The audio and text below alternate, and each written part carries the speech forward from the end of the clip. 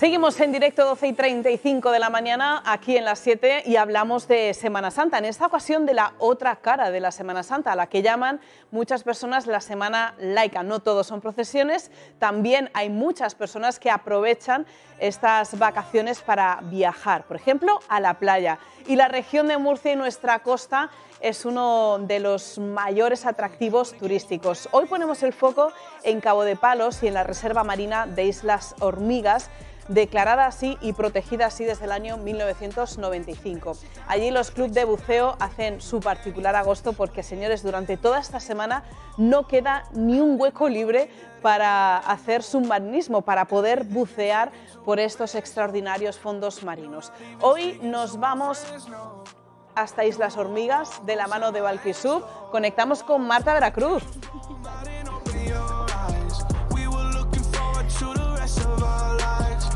María, con la Semana Santa muchos turistas vienen a la región de Murcia. ¿A qué?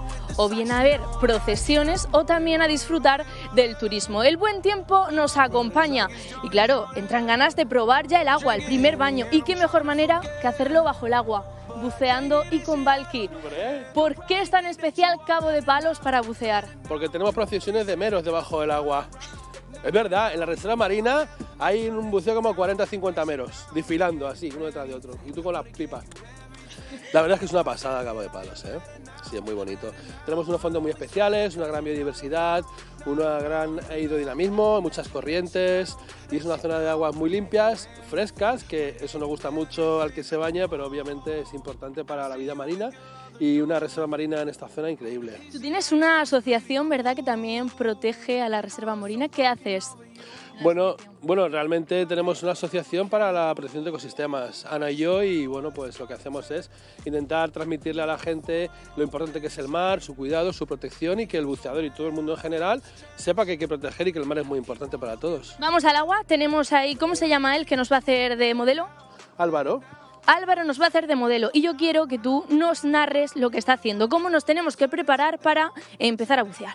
Pues mira, primero alguien le va a echar una manita, porque uno buceador solo, pues no, lo que pasa es que alguien le echa una mano, a lo mejor el chache le echa una manita a equiparse. Entonces, claro, lo que, lo que acaba de hacer es abrir la botella. Importante que comprobemos que la botella tiene el aire suficiente para bucear. Empezamos con 200 atmósferas y tenemos como una hora para hacer una inmersión y aún así nos sobra todavía más del 25% de la botella. Luego lo que hace es ponerse esa especie de chaleco, que es un, que es un, es un chaleco, que parece una mochila, donde va enganchado a la botella y además ese chaleco se hincha con aire de la botella. Lo hinchamos para cuando nos tiremos a superficie, flotamos. Y cuando estás flotando en superficie, vamos a deshincharlo para comenzar a bajar muy, muy, muy, muy lentamente. Y comenzamos un descenso muy lento, poco a poco. Vamos primero a 5 metros, 10 metros y muy despacito vamos descendiendo. De cara a Semana Santa, imagino que tenéis completo, ¿no? Pues sí, por suerte tenemos completo. Eh, la gente sabe que bucear en Cabo de Palos cada vez es más exclusivo, cada vez es más complicado porque la Reserva Marina tiene un cupo, gracias a Dios hay un límite para que no se masifique, para que no se sature, para que los animales estén en paz. Y obviamente ese cupo hace que no todo el mundo pueda bucear, entonces solo bucean los primeros que se apuntan y hasta que llenar el cupo y en ese caso la gente sabe que tiene que reservar con antelación. ¿Cuál es el perfil de gente que reserva? ¿Son turistas, vienen de fuera de la región de Murcia, de fuera de España o gente de aquí? Bueno, en general viene gente de todos lados. Lo principal, pues el público local lo tiene aquí muy cerca y quizá a veces elige fines de semana, días entre semana, más tranquilos que la Semana Santa. La Semana Santa verdad que viene mucho más gente de fuera, sobre todo de Madrid, suele ser el, mayor público que tenemos de buceadores y luego extranjeros, después del COVID que se volvió a abrir otra vez las fronteras. Eh, ha vuelto el público extranjero por suerte, británicos, alemanes, franceses, como nuestro amigo Jean-Luc. Y bueno, pues es un placer tener aquí todo el mundo.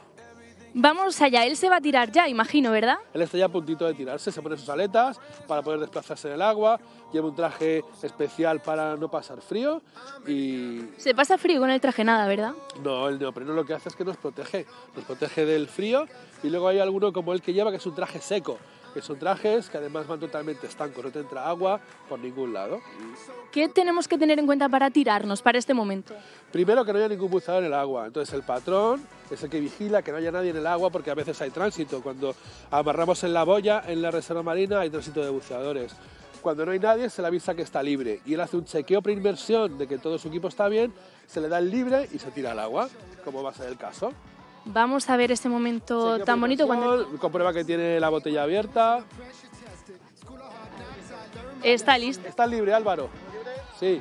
Se pone el regulador, chaleco hinchado, se protege para que no le dé un golpe nada y caemos al agua. Flota y le da la señal de ok al barco para que sepamos que ha caído y que está todo bien. Y ya- ¿Cómo le ha dado esa señal de ok? Ah, sí, ok. Como una bailarina casi. Sí, El círculo es un ok y cuando estamos lejos en el mar hacemos ok o hacemos ok. Cualquier círculo en el agua es que está todo bien. Que él, por ejemplo, él sí que ha buceado antes, pero una persona que no haya buceado nunca antes sí que quizás se pueda agobiar un poco a la hora de respirar.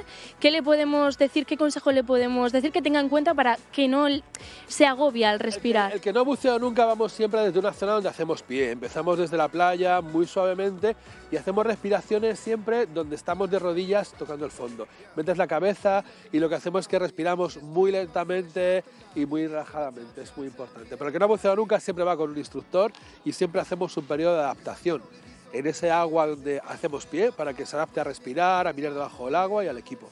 Luego dentro del agua tenéis como cuando vamos con un instructor, ¿no? Siempre nos está pregun- preguntando continuamente, ¿cómo estás? ¿Cómo estás? Sí. Ok. Ok, a mí me pasó, fíjate, claro, la- automáticamente te viene a la cabeza hacer el ok así. ¿Y ese ok qué significa todo lo Que contrario? subimos, que terminamos la inversión. Entonces, ojo a la gente que venga a Cabo de Palos a bucear. ok es así, y está todo bien. Y si haces esto es que estás genial. Una cosa, ¿y es verdad que cuando estás buceando te sientes como que estás volando? ¿Por qué? Absolutamente, porque estás entre dos aguas. El buceador, la gente piensa que vamos al fondo marino, no tocamos el fondo marino, nos quedamos muy cerca de él y al final sobrevolamos ese fondo marino como a dos o tres metros por encima. Y cuando hay mucha visibilidad, como ocurre en Cabo de Palos la mayoría del año, que hay 20-25 metros, ves todo tan lejos y ves a los buzos así como flotando. Y tú estás en ingravidez, como un astronauta. Entonces se te relajan los músculos, las articulaciones, tu respiración, y de repente entras en catarsis. Te das cuenta de que has desconectado de todo y estás disfrutando de la vida marina. Sin duda es, es un privilegio ¿no? y un placer poder bucear. Vamos a dejarlo aquí, muchísimas gracias. Nos quedamos con la imagen del compañero que enseguida empieza a volar. Qué gusto, qué envidia que nos da. Pues un beso en directo desde Cabo de Palos. Es la otra Semana Santa, la Semana Laica, que muchas personas aprovechan también pues, para ir de vacaciones, viajar y muchos turistas están llegando